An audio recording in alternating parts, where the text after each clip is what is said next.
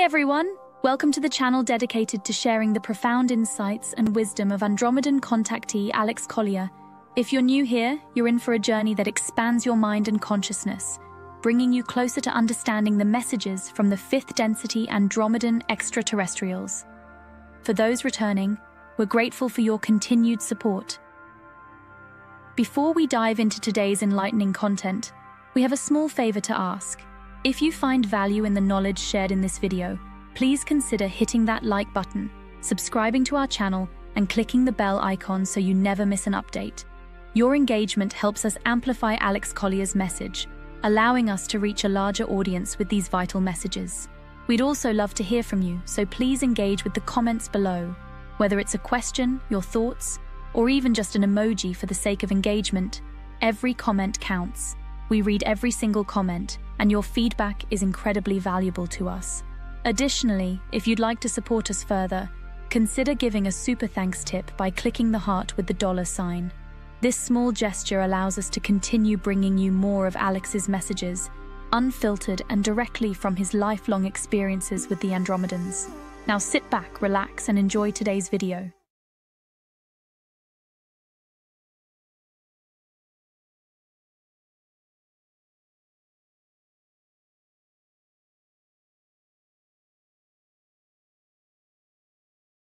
I have about 20,000 credit card debt.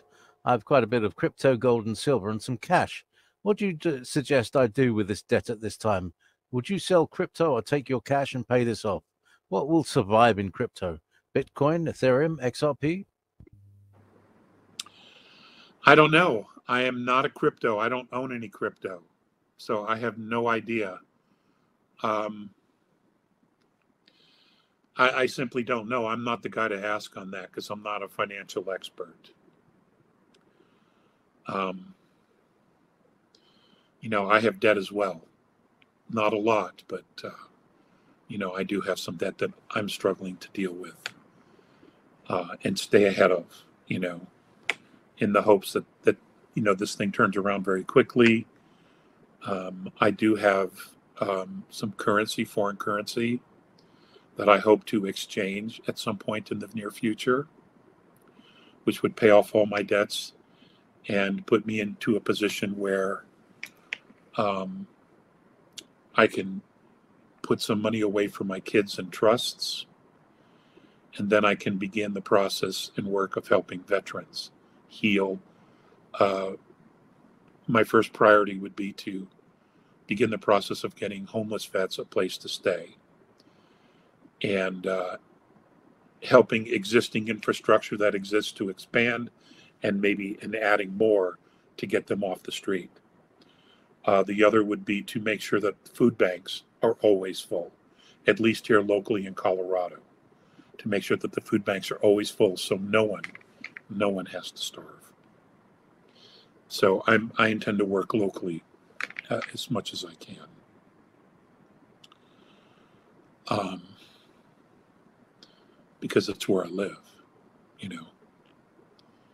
Uh, the government here in, in Colorado has the potential to do great things. It's uh, their ideology is just fucked up. it's just like, how do you justify any of this? You know, it's just, you know. It's on the dark side of the moon.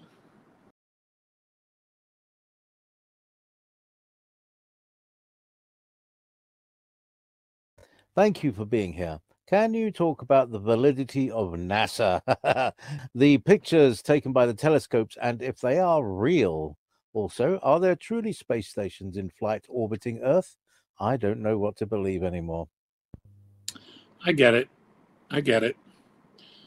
Regarding um, never a straight answer, NASA. Um, I have I have come to the conclusion that for the most part, it's just propaganda. Do we have ships in orbit? Yes, we do. Um, you're just going to have to trust your own intuition. I would suggest if you can, or if you have access to it, to one, is that you get yourself um, night goggles, night glasses, night binoculars. Okay. And if you know somebody who has access to a really good pair of night vision binoculars or um,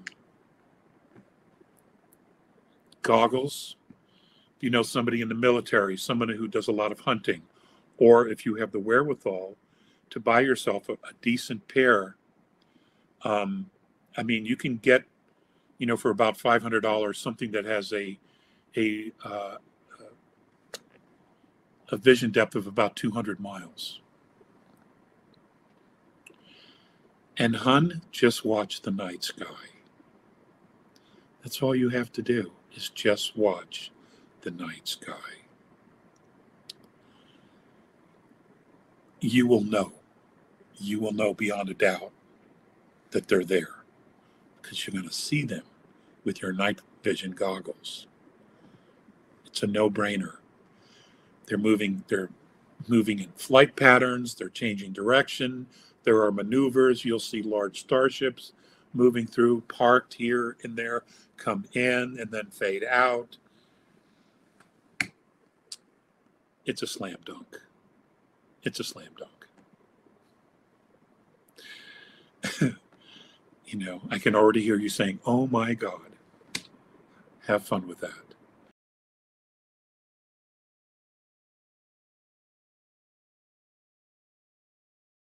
JP, via a Michael Salla interview, threw into question who is in control of the ARKS, A-R-K-S. Any idea? asks Mike Simcoe.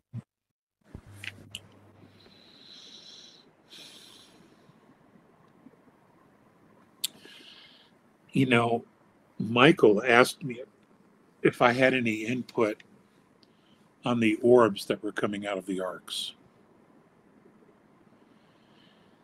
And my input was this the the orbs which are coming from the ark it's, ARKS itself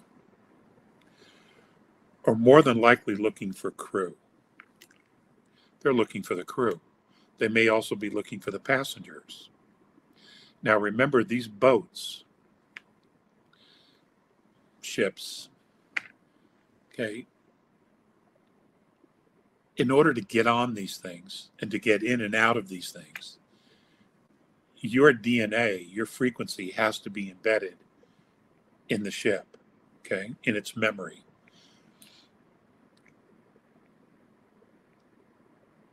And that's probably what they're doing is they're they're they're moving around the planet looking for crew. Okay? Or passengers, which would be crew. Okay, if you're on board of a ship, you know, and you do anything, you're part of the crew. Okay? And you act accordingly. That's what I think they're doing. So it's the crew. It's the crew that these things are looking for. That's who's in charge. That's who's in charge.